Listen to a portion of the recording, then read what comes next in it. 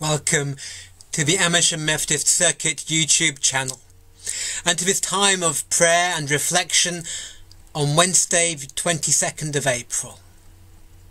I'm Nigel Wright, I'm one of the ministers in the Amersham Methodist Circuit. Let us pray. Almighty God, we thank you for the words of Scripture that reassure us of your presence and we thank you for your words that inspire us to serve and worship you. Amen.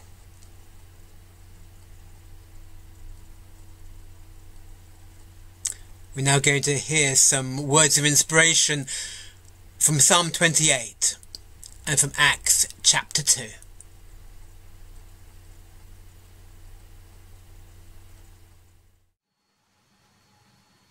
Psalm 28 To you I call, O Lord my rock. Do not turn a deaf ear to me. For if you remain silent, I shall be like those who have gone down to the pit. Hear my cry for mercy as I call to you for help as I lift up my hands towards your most holy place. Praise be to the Lord, for he has heard my cry for mercy. The Lord is my strength and my shield. My heart trusts in him, and I am helped. My heart leaps for joy, and I will give thanks to him in song. The Lord is the strength of his people, a fortress of salvation for his anointed one. Save your people and bless your inheritance. Be their shepherd and carry them forever. This is the word of the Lord. Thanks be to God. The Acts of the Apostles, chapter 2, beginning to read at verse 14 and then verses 22 to 35. Then Peter stood up with the eleven, raised his voice, and addressed the crowd. Fellow Jews and all of you who live in Jerusalem, let me explain this to you. Listen carefully to what I say. Men of Israel, listen to this. Jesus of Nazareth was a man accredited by God to you by miracles, wonders, and signs, which God did among you through him, as you yourselves know. This man was handed over to you by God's set purpose and foreknowledge and you, with the help of wicked men, put him to death by nailing him to the cross. But God raised him from the dead, freeing him from the agony of death, because it was impossible for death to keep its hold on him. David said about him, I saw the Lord always before me, because he is at my right hand, I will not be shaken. Therefore my heart is glad, and my tongue rejoices. My body also will live in hope, because you will not abandon me to the grave, nor will you let your Holy One see decay. You have made known to me the paths of life. You will fill me with joy in your presence. Brothers, I can tell you confidently that the patriarch David died and was buried, and his tomb is here to this day. But he was a prophet and knew that God had promised him on oath that he would place one of his descendants on his throne. Seeing what was ahead, he spoke of the resurrection of the Christ, that he was not abandoned to the grave, nor did his body see decay. God has raised this Jesus to life, and we are all witnesses of the fact. Exalted to the right hand of God, he has received from the Father the promised Holy Spirit and has poured out what you now see and hear.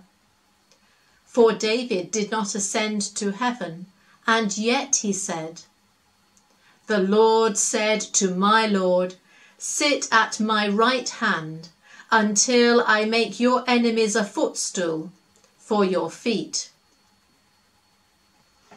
This is the word of the Lord. Thanks be to God.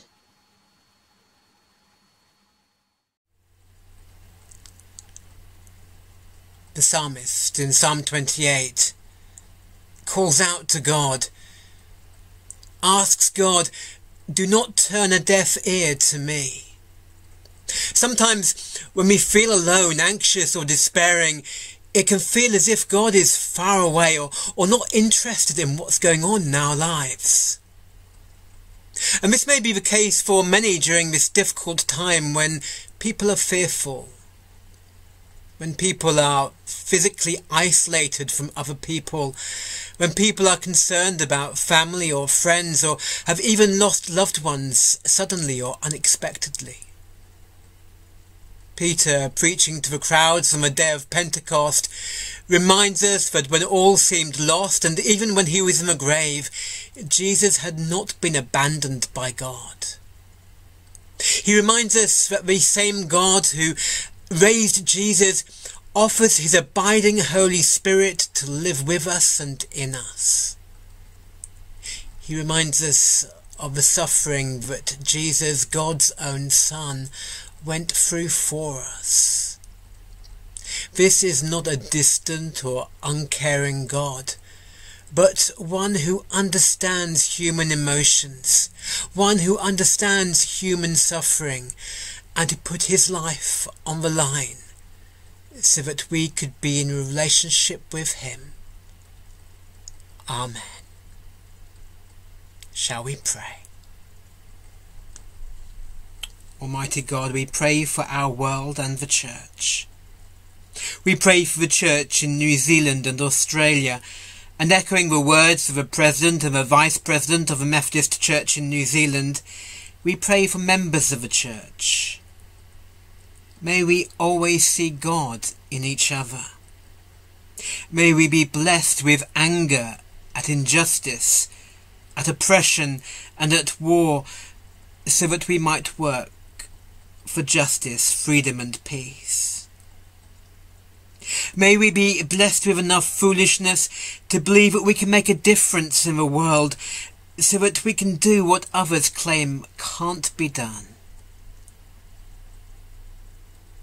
We pray for the Nottingham and Derby district in our own country.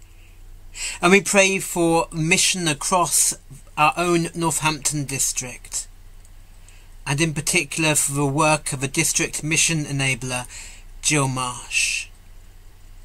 And in this circuit we pray for Deanway United Church and Gerrard's Cross Methodist Church. We pray for the work of food banks in our own communities and throughout the country. And we pray for those who receive from them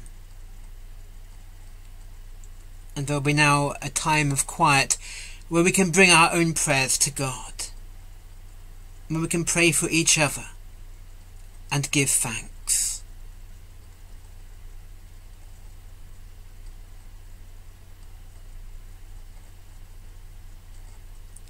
And we pray together the words of the Lord's Prayer. Our Father who art in heaven, hallowed be thy name. Thy kingdom come Thy will be done on earth as it is in heaven. Give us this day our daily bread, and forgive us our trespasses as we forgive those who trespass against us. And lead us not into temptation, but deliver us from evil. For thine is the kingdom, the power, and the glory, for ever and ever. Amen. Go now redeemed in love, renewed in faith, restored in strength, and refreshed in spirit. Go in the name of the risen Christ who goes before you. And may the blessing of Almighty God, Father, Son, and Holy Spirit be with you now and forevermore. Amen.